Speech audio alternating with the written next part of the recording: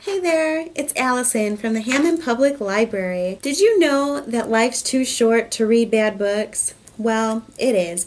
And that's why I'm here to review a really great book for you to save you some time from wondering, what should I read next? And I'm going to review it in 60 seconds or less to save you even more time. Are you ready? 60 seconds on the clock, please.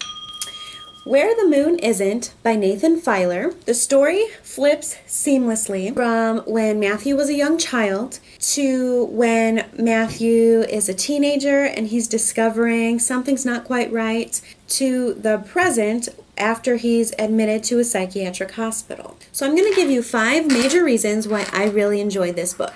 One, it was a very captivating story. Kept me glued from the first page to the very last. Two, it was a quick read. Read it in one weekend, super quick. Three, it opened my mind a little bit more to the tragic illness of schizophrenia. Four, it met, mixed light humor with a serious topic to kind of put the reader at ease. It wasn't so heavy. And five, it was originally published in the United Kingdom under the title The Shock of the Fall. So it contains a lot of British slang and really who doesn't love British slang? Don't forget to check out the links below to connect more with the Hammond Public Library.